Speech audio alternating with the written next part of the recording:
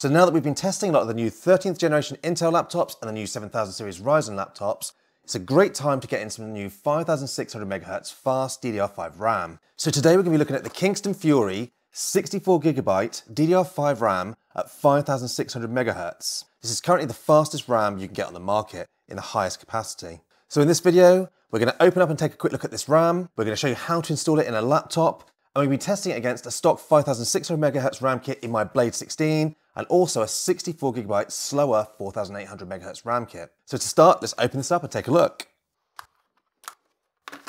Now, obviously with these RAM kits, you really don't get a lot. Just the two 32GB RAM sticks themselves, which gives us our 64GB kit, a Fury sticker, and a little warranty card and information sheet. And that's really it. And obviously, what you're paying for is these two very nice looking RAM chips. Now, very often when you open up your laptop, you just have a dull green RAM chip with no branding or anything on it. We are going to be replacing it with this really good looking Fury Impact RAM kit itself, 5600 megahertz and some pretty good RAM timings.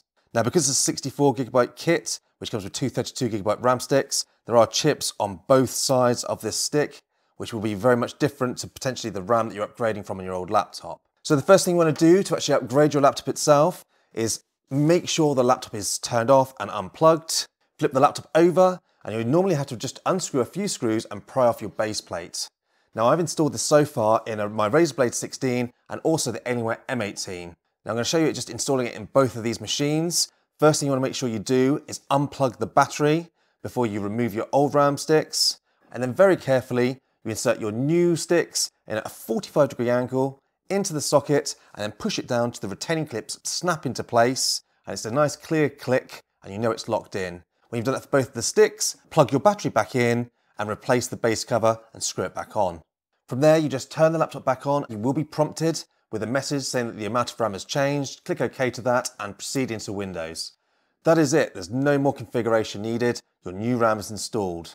And if I show you straight away on my Razer Blade 16, in the system information, you can see I've got my 64 gigabyte kit is showing, and it's actually running at 5600 megahertz, which is what we want. Now, not all laptops will be able to do the 5600 megahertz on a 64 gigabyte kit. Some laptops may only give you 5200 megahertz, like the Alienware M18. Now the 32 gigabyte kit shouldn't be affected, it's just unfortunately some of the 64 gigabyte kits. But to be honest, you're not going to see a massive amount of difference in performance between 5600 on this Blade 16 and the 5200 on the Alienware M18. So now that the actual RAM is installed, it's up and running, I'm going to run just a few benchmarks. And the first one I always like to run is AIDA64, which is just a pure memory benchmark. And you can see here I have scores for the stock 32 gigabyte of 5600 MHz that this actual laptop came with. I then put in a 64 gigabyte crucial 4800 MHz kit that I was using last year before this new faster RAM came out. And then finally, you can see our new Fury 64 gigabytes is quite a bit faster than both of these two kits. And not only is it faster in AIDA64, I also ran a Geekbench 5 benchmark on all of these RAM kits. And again, you can see that it scores much better with this new 64GB Fury kit, making it, in my opinion, well worth spending a few extra pounds on than an older 4800MHz RAM kit. So there we go. In my opinion, this is a really fantastic little RAM kit. It actually wasn't even that expensive, which was quite surprised me because when the 5600MHz kits did come out, they were really pricey. Now I bought this from Amazon and I will put a link in the description down below in case you want to get the same kit as me. And as always, if you've got any questions, pop it in the comment section down below and I will get back to you. And lastly, thank you for watching.